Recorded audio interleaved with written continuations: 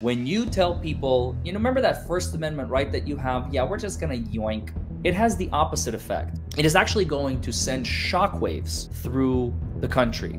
It is going to be imperative on the court not to draw any more attention to this case that it already has. And by granting this motion, I anticipate we're about to read, this is going to send shockwaves through the United States of America all the way to California. Even the most liberal of states in California are probably going to look at this and go, uh, something is rotten. Why can't they peacefully protest outside the courthouse? You know what I mean?